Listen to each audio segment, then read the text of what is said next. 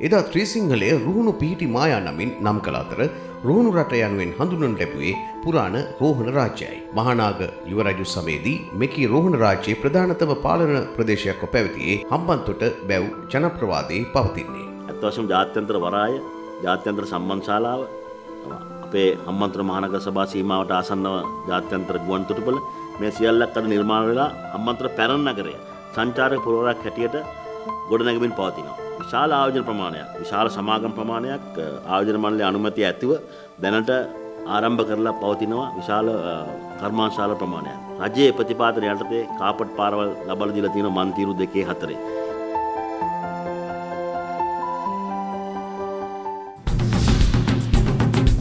ශ්‍රී Lanka Telecom එකම රටක් එකම හඩක්.